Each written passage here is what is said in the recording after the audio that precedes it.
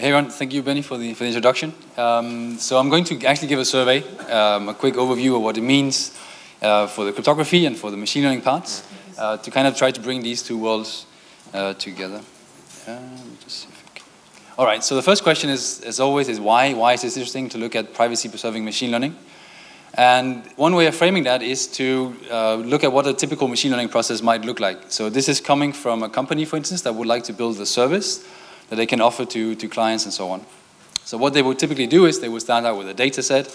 At some point, they would run that data set through a training process, and they would end up with a model that they can offer as, as a prediction service to potential uh, clients. But of course, that typically exists in a context as well. So, and one of that is how do you get the training data? It could be data that they collect, but it could also be external data. So they might go to public data sources like ImageNet. They might go to uh, experts or specialists that gather this data set over years of, of practice. Or they could even go to companies that are interested in selling the data set um, in exchange for, yeah, for as a, as a price. And on the other hand, there's also when they have the service, it could again be for internal purposes, but it could also be that they want to offer this to clients, to customers uh, outside of the company. So if you have this process, then uh, as a concrete example for this, uh, you could have this uh, skin cancer image classification example that was presented about two years ago by a group of researchers. What they did is they developed an app for uh, taking photos of skin lesions, and then they could run this photo through um, a convolutional neural network in order to detect whether or not you should go see a dermatologist for further inspection. The way they built this system was they went to dermatologists, they collected all these clinical photos, they ran it through a transfer learning process to end up with this CNN. Um, and they actually, uh, based on this, they managed to reach uh, roughly expert level performance on these predictions. So it had a, a, huge impact because now everyone could potentially have an expert dermatologist in their pocket on a mobile phone uh, and have their skin lesions analyzed whenever they wanted to. So at the fear of stating the obvious, when we start to analyze this sensitive data and start building machine learning systems around this sensitive data, we could potentially move into to, uh, many interesting areas where uh, that would have great benefits. However, of course, there's also a problem with this. And one way of phrasing this uh, privacy problem is could be through potential bottlenecks. And I'll try to identify some of those. So the first one is you need to get access to this training data. These dermatologists, when you get the data from them, for instance, they could face liability on the data set and would actually not risk giving it away because of this reason. It could also be that the company that's willing to, to sell you the data, since they don't know how the data is being used, they charge a high price, you can't afford that even if you do manage to get a data set, you're also running a risk, or potentially running a risk of actually holding onto this data. If you're a smaller company, uh, you could be liable for this. If it were to leak, that could be serious consequences. Even if you do manage to get to the point where you have a very nice model, you also have to incentivize your users to actually use the model. Um, and particularly if that means that the users are exposing themselves when using the model, essentially telling the company whether or not they could have skin cancer. Maybe they don't want to use the model. And then finally, you could also see what is the leakage of the model um, that you get back from the predictions. What can we learn, particularly on the, on the training data, through the predictions that we send back to the, to the customers. And then some of you, to try to mitigate this, some of you might be familiar with differential privacy. So the process of differential privacy is to add noise in the process at some point. Uh, this could be to say the training data we use has already been sanitized, so there's nothing, there's not too much leaked from the training data. We could imagine doing something similar um, when we get in the predictions that they have also somehow been sanitized. Um, that might take care of the risk management because the company is now only operating on uh, sanitized, non-private data. Could also potentially take care of the leakage because we can now control how much of the training data has been leaked through this. It might, so here's, the, here's one of the, uh, was less, less clear. So ideally you could sanitize the, um, the prediction input in a way so that nothing is too much, not too much is leaked to the company. The question is, is then still useful? So how much would accuracy drop if you're actually doing this. And likewise, it's also not clear, this training data might be sanitized, but can we then still build accurate model that, we, uh, that can give the same services that we could before? So as a complementary to this, you can also look at secure computation. And secure computation doesn't add noise to the process. It moves the process into encrypted space. So that means that the data set we're operating on is now encrypted. The training we do, we're doing that, we continue to do that on the encrypted data without decrypting in between. And the predictions we offer at the end also happens on encrypted data instead of decrypting in between. So if we do that, then from the company's perspective, they only see encrypted data, so maybe the risk there is less. Uh, users should also be incentivized because they're only sending encrypting data and the company doesn't know how to decrypt this. However, since we're taking exactly the same process as in the plain text, in the unencrypted case, and we're just moving it into the encrypted case, we're not dealing anything about leakage. So whatever leakage there were in the original model is going to be here in the encrypted model as well. But assuming we can somehow fix that, then getting access to the dating data, uh, training data could also be okay, um, because these guys now offer only encrypted data that no one actually gets to see, or they can somehow control how this data can be used. And today I'm going to talk about more uh, secure computation. Um, so one thing you could do in, in practice, of course, and to, to illustrate that this is complementary, is that you can make a hybrid. So you can say uh, we're sanitizing the training data maybe at a later point. We're also using secure computation, and then potentially mitigate uh, all of these issues. All right, so moving into secure computation. Uh, today I'll talk about two techniques uh, in particular, so homomorphic encryption, secret sharing. Uh, I want to give a very quick, very rough, if you talk to a cryptographer, he will probably have a more detailed debate about this. Uh, but just a quick outline or characteristics of the two. So one could say that homomorphic encryption is very heavy on the computational side, but somewhat, uh, whereas secret sharing is somewhat light on the computational side. Where they switch is in terms of communication. So homomorphic encryption is very light, whereas secret sharing is very heavy. Uh, they both operate on essentially on integers or on bits. Uh, but you would notice that if when you're doing machine learning, you typically want reals or floating points.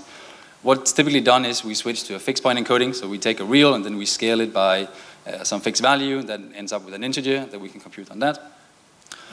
There's also other techniques. There's a thing called garbled circuits, uh, which, uh, for the sake of argument, let's say has kind of a medium communication and, and, computation complexity.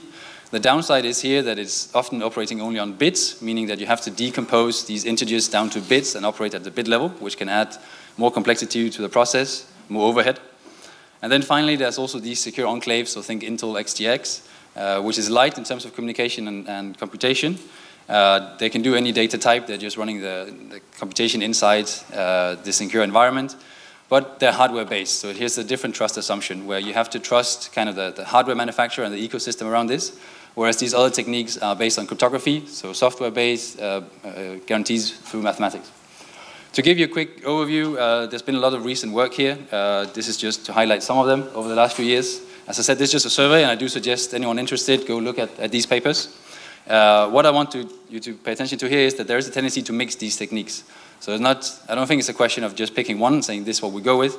Uh, to get the best performance, you often end up uh, picking a mix of these. All right, so to get started, I first want to look at the very simple models. We could look at, let's do linear regression, and in particular, let's do uh, prediction using linear regression. So we're going to have a model here that already has some weights W. We have a client that has some uh, new prediction input X. He wants to send this to the service and he wants to get back to the dot product. Uh, if we unravel this, then we see that the dot product, as you know, uh, is just a point-wide multiplication and then followed by an addition. So now if you wanted to do this using homomorphic encryption, what happens then is that our user is going to pick a decryption key that only he knows. There's also a corresponding public encryption key that everyone knows, but he's the only one that's able to decrypt. Then what he does is he sends this encryption to the service. The service can somehow still run through the prediction of the model and, and generate an encryption of the dot product, and then send that back to the client who can now decrypt. If we plug that into a formula, we see that we now have on the left here, the, on, the, on the X parts, they're now encrypted. So the, the operations we have to do now involve encrypted data, ciphertext. So if we take any kind of uh, so there are certain operations we need to do with this. And the first one we, I'll call public multiplication. So this essentially means having a ciphertext and then having a plaintext value. And now I want to move that plaintext value into the encryption. So if I can do that, then I'm going to say that the encryption scheme allows me to do a public multiplication. Then we end up with these three ciphertexts, and now we have to add them together. But since we're operating on ciphertext now, I'm going to call this a private addition. If we can do these two operations, then we can generate an encryption of the dot product that we can send back to the, to the client. Now, I guess it's no surprise that if you take any ordinary encryption scheme, like AES, for instance, then we don't know how to do this. So in particular, we need this homomorphic encryption scheme that actually satisfies these two properties that allows us to do these, these two operations. Um, but if we can do that, then we can do uh, uh, predictions using a linear model on encrypted data. Uh, so to look at a concrete scheme, out with saying we actually need what's called a probabilistic encryption scheme. So this means that the encryption is no longer just of the plain text, but also of a random value, this R component that goes into it. And to give you a quick intuition of why that's the case, so say we're doing a prediction and we're sending back a 0 or 1. So even without knowing the decryption key, if we didn't have this randomness component, I could try to guess. I could try to brute force. I could, using the public encryption key, I could encrypt 0. Does that match with the result? Or I can try to encrypt one, does that match the result? And I can, I can uh, detect what's inside the, the ciphertext in this way. But if we have this randomness component, then I also have to brute force this randomness. So if there's sufficient many choices for this, then that becomes infeasible. So in other words, we have this kind of, the plain text domain is much, uh, much smaller than the, than the ciphertext domain. All right, so one concrete instance of a homomorphic encryption scheme that's, I guess, going on 20 years now. Uh, there's more advanced schemes out there, but this one is a bit simpler to illustrate. Uh, it's called Paillier encryption. And this is basically the definition of how you form a ciphertext using this. So it might look a bit scary if you're not from a crypto background. Um, the first thing you notice is there's now this green component as well, which is the public encryption key, consists of a G and N and N squared. Uh, when, what you do when you want to make an encryption is you have two integers, G is an integer, X is this encoded fixed point, which is also an integer. So you just raise G to, to the power of X. You do the same for R with N. You multiply the two, and then you do everything mod N squared. So it's a relatively simple operation. As a quick example, let's say our G is 36, our N is 35, and N squared is, is whatever it is. If we now want to encrypt 5 using randomness 2, we plug it in and we get 718. If we want to encrypt 5 again, but using a different randomness, we see we get a different, uh, different value, of course. All right, so one note here to give some indication of why this becomes heavy in terms of computation is that in order for this equation to be secure, so in order to prevent someone from going back from the ciphertext to learn information about X or R in this case, these values typically have to be around 4,000 bits long. So it's no longer about computing on 64 bits values, it's about computing on 4,000 bit values.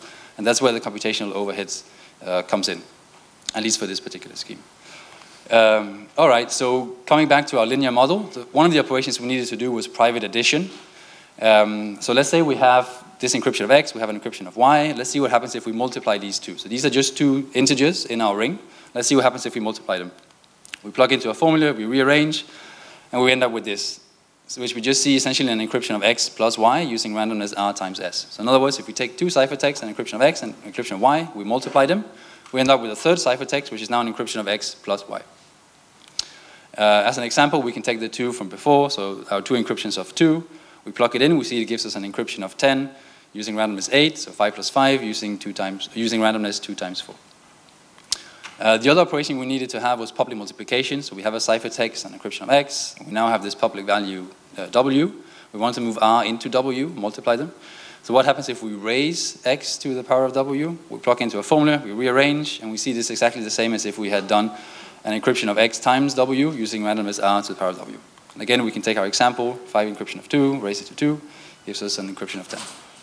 All right, so with these two operations, we can now actually do predictions using a linear model um, on encrypted data. All right, so the other technique I was talking about is called secret sharing. And secret sharing takes the key away from it, so there's no longer any private decryption key. The trust assumption here, or where the cryptography is rooted in, is that we now split the trust. We distribute the trust between these two servers. So instead of just having one prediction server, now we have two prediction servers, and they both have a copy of the model. That's the difference here. Uh, but then we don't need to have this, this decryption key. So instead of encrypting stuff, we're now generating shares of our private input here. We're generating a share 1 and a share 2. These have the properties that if you only know one of the shares, then you don't learn anything about X. But we can still compute on it, and the two servers can still arraign, arrive at this sharing of the dot product that they then send back to the client. Knowing both shares, he can now reconstruct and learn the dot product. All right, so let's see what this looks like. Uh, yeah, and of course, uh, same reason as before, we need this scheme to be uh, what I would call a homomorphic encryption, a homomorphic secret sharing scheme. Uh, one concrete, instance of this uh, is what's used in the SPDZ protocol. It's also called additive secret sharing. Um, they're defined in this way. We see there's still this blue component here, which is no longer a public key, it's a public parameter. So it can be fixed once and for all, and it can be chosen of any arbitrary size that fits your application. So we don't have the same expansion up to 4,000 bits. We can pick this to be 64 bits, for instance. Uh, then we see that the first share of our input is essentially just a randomness. So if this is picked independently of x, then this will obviously not leak anything about x. And then the second share is just x masked by this randomness. So again, if you don't know the first share, if you don't know r, then you don't learn anything from this. This is a uniform random value as well. But of course, if you add those two together, r cancels out and you recover x. As a quick example, if we want to secret share 5 using randomness 7, the first share will be 7. The second share will be 5 minus 7, mod 10, minus, uh, minus 2, mod 10 is 8. Um, and if you add those up, you get 15. 15 mod 10 is, is 5, so we can recover the value afterwards. So again, looking at our linear regression uh, model, um, let's say we have the two servers. Let's say they already have sharings of x, the sharings of y, and now they want to gener generate a sharing of x plus y. So uh, they already have these two shares. Turns out they can just add what they already have, so they can define a set 1 and a set 2, which is just an addition of the values they already have. If you plug that in and rearrange, you see that set 1 plus set 2 will give you x plus uh, y. So note this is just a local operation. There's no communication here, and they're operating on small values which essentially has the same overhead as if you're doing this in plain text. The second operation we needed was public multiplication. Again, they can just operate on what they already have, and that gives a set 1, set 2, which adds up to x times w. So we can also do predictions using a linear model in secret sharing. So moving on to something a bit more advanced, let's look at convolutional neural networks, uh, coming back to our initial uh, motivation for this. Um, particularly, we're going to look at this MNIST example that was also talked about in the previous talk. So here we have a model that's more advanced, that has more weights. The user comes with an input, which is a digit.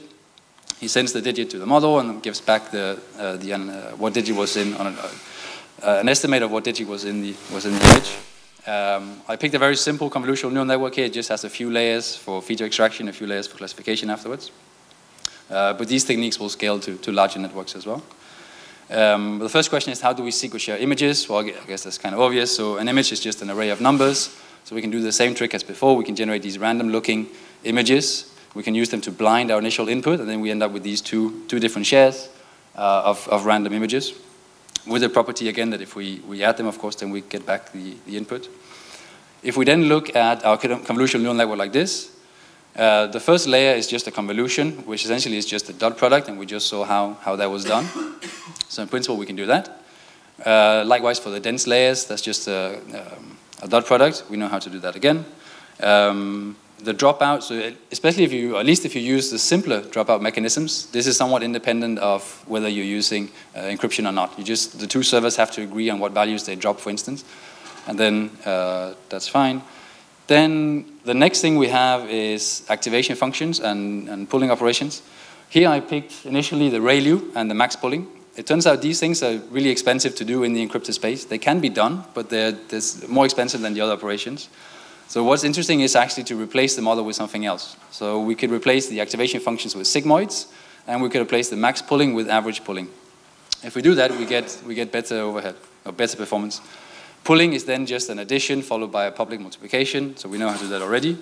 And the activation function is, I'll come back to in a second. The key takeaway here is, ah, yeah, sorry. So that leaves the softmax at the end.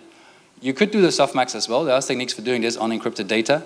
If we're just doing a prediction, it might be interesting to actually move this to the client. So instead of sending back a probability distribution, we're sending him back likelihoods. And then he can do, after he reconstructs the value, he's going to apply the softmax if he really wants this.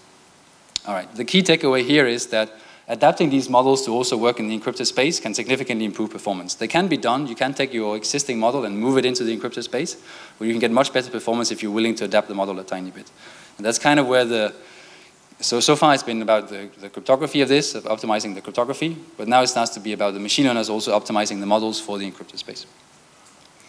All right, so coming back to the sigmoid, uh, just briefly, so it might look um, Remember, we were replacing a ReLU with this, which might look much worse because now we're doing a division with a private value. We're doing exponentiation with a private value.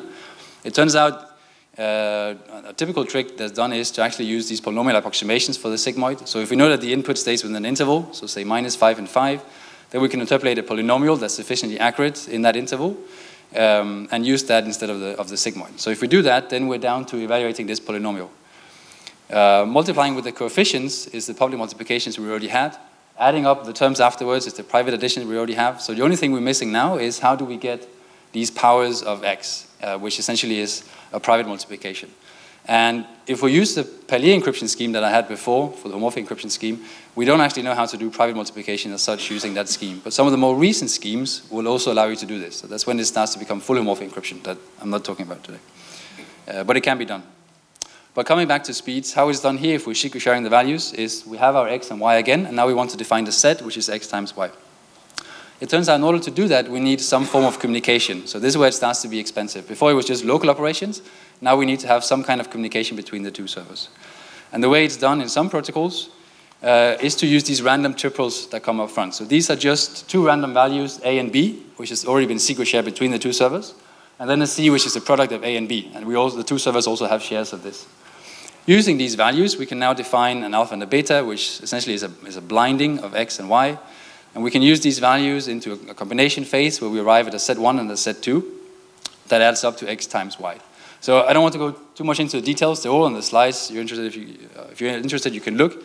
Um, the key takeaway here is that we now, to do private multiplications, we need to have some kind of interaction, so we need to have some kind of communication. That carries an overhead. And we also need to have these triples up front. Um, however, they're independent of the actual value, so they're typically moved to what's called an offline phase and generated before we're actually running the offline phase where we know the data, the secret share data. Okay, but if we can do that, then we could essentially do uh, private predictions um, using unencrypted data uh, using, using secret sharing. Um, there's a lot of optimizations I haven't looked at here, uh, but we're more than happy to have the discussion offline. This was just to give an intuition of how you can do that. Um, also wanted to mention a bit about training. Um, I'm not going to go into details in, in, uh, in for the sake of, of time, um, but there's definitely some interesting challenges there. Uh, just to, to set it up a bit, um, so let's say we have these dermatologists, and to understand who are the participants, uh, what would typically happen is that we now have two servers. They're not offering a prediction service, but they're offering a training service. Then each participant would come along and would, would secret share his training data and send it to the two servers. And then once the data is there in secret shared form, we can start to do this training process. Um, this could also be a process that happens among the, the, the specialists in this case without actually having the two servers. So when you have to pick these two servers, uh, there's a question of who actually runs them. Is it two different companies? Is it a company and a union of the dermatologists? Is it between the dermatologist himself and so on? That's one of the questions you have to answer when, you, when you're looking at secret sharing and, and MPC in general. Um, so, okay, so moving on to the more technical aspects. Um, the softmax, we, before we moved it to the client, during training we can't do that because we need to actually evaluate the softmax. What's typically done in literature is to replace it with something simpler. So I just told you the ReLU is expensive. It turns out it's cheaper to do the ReLU than doing the normal softmax. So this is what people would, would typically do. Uh, and they can achieve good accuracy with this as well. Um, you would also be tempted to use more advanced optimization strategies like RMSProp, uh, ADA, and so on. This component underneath here, where we're doing uh, division with a square root, is very expensive, so we would like to skip that, especially if that depends on, on private values, which the weights would be in this case. And what you typically see in literature is to people fall down to the normal stochastic uh, gradient descent. Uh, but finding the good optimization strategy here is also, is also interesting. Um, slightly different is, in order to get good performance from this, um, you would shoot yourself in the foot if you move everything into the encrypted space. And it's more interesting to look at how can we take something in the public space and then uh, only do certain operations in the encrypted space. And one ideal application for that could be transfer learning where we're saying that if you were to train a convolutional neural network, you don't want to take, uh, to start doing that from scratch. So you might, uh, on the encrypted data, you might start out with a public data set, train as much as you can to improve the performance on that, fix some of the layers, and then only do fine tuning um, afterwards in the encrypted space. So here, for instance, involve the, the dermatologist later in the process. Uh, that's some of the techniques we, we see in literature. Um, moving on to uh, the final part, which is about making this accessible. So before saying anything about that, uh, let me point out that there's already very excellent projects and literature out there. Uh, here's a collection of the papers from before. I do encourage you to, to go have a look if you're interested. Uh, there's also very good general purpose software computation or secure computation frameworks out there. Uh, just mention a few here with a, a, reference list for where they keep track of, of the latest. Um, however, they are, as I said, more general purpose computation where you're, you're interested in doing any, any computation at all. And I do think there's room for these more specialized projects. So that's the one I'll be talking about now. Uh, one called TF Encrypted, which is trying to put some of this stuff directly into TensorFlow. And the other one called PySyft, which is trying to do the same for uh, PyTorch instead.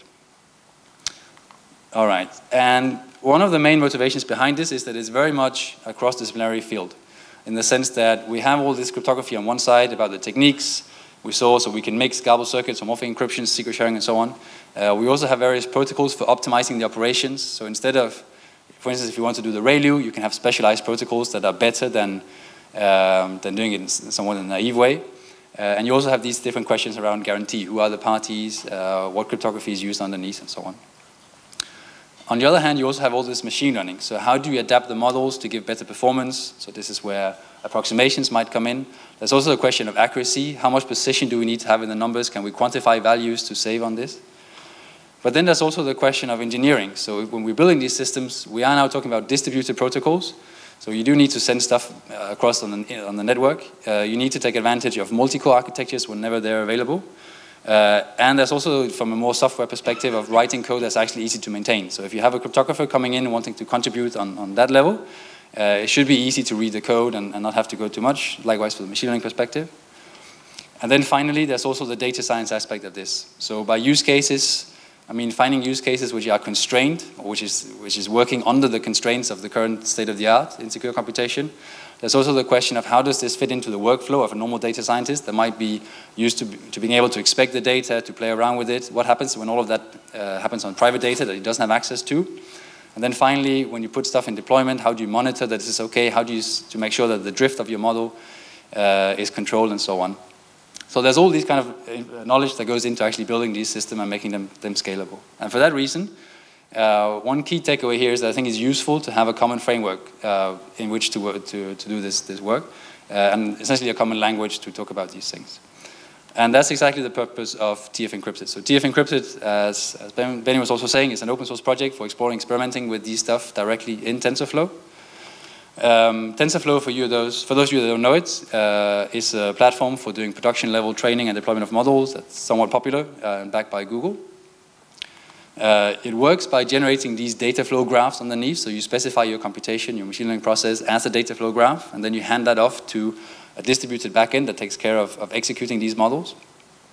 Uh, that backend is highly optimized. So when you're doing, it's typically used for doing distributed training. And Google is putting a lot of resources into actually making that efficient. So without much work, um, you get concurrent behavior. They will try to take some of these operations and actually run them on multiple, uh, multi-core architectures. Uh, and they'll also try to optimize the networking. So instead of sending two small packages, they will figure out, based on the data flow graph, that we can send one package instead if we move around the computation a bit. Uh, what we see here, for instance, is that this was without us doing much optimization. Um, TensorFlow was already taking advantage of the multi-core architecture, and also figuring out that all these triples I was talking about could essentially be batched and moved up to this offline phase. So it's not a strict offline phase in the, in the typical sense in cryptography, but we see that it is doing it up front instead of doing it uh, during the computation because it, it applied some heuristics based on the network characteristics that said this was more efficient. Um, but also there is the question of how to make this usable, how to make this easy to approach from, especially if you come from a non-cryptographic background. So uh, first I'll show a script doing this, doing a simple prediction using ordinary TensorFlow, where we can imagine we have a model owner here on the left that owns the model, and we have a client on the right again, the prediction client that has an input, and now he wants to, to run a prediction on, on this model. If you were to express this in TensorFlow, it would be somewhat implicit uh, where the data is coming from, but you could write it like this. So we have three functions here, which I just use for, for instance, for loading the, the network from disk, loading the prediction input, and then from the final output, uh, we're just taking the argmax and then we're printing it on the screen. Then we define our model here. So we, we get our inputs, we define the, the, the two hidden layers we have, um, and we define the operation we have to run to actually get, get the final output. And then we run this using the, the TensorFlow engine. And then this was, so anyone with basic familiarity with TensorFlow should recognize uh, more or less how these scripts work. If you now want to do this on private prediction instead, so on private data using TF encrypted, the model changes a bit because we now have these two servers that we saw from before, where the model owner is now sending shares of the weights to the two servers. and The prediction client is doing the same for his, his input. So notice here we're also keeping the model private. And then this is what the script looks like in, in TensorFlow. And now, as you can see, it's very similar to the one before, and I'll now try to I'll highlight the, the differences. So one is we're now importing TF encrypted right next to TensorFlow because we're not trying to replace TensorFlow, we're trying to build on top of it. So this essentially is, a, you can see there's a little compiler that helps build these data flow graphs working on encrypted data. Then the function remains the same, the model remains the same. The next difference instead is, instead of now calling provide weights directly, we're now annotating and saying this has to be a private uh, input and it has to be run on the machine belonging to the model owner. So what this does is it it executes this function, provide, in, provide weights, on the machine belonging to the model owner.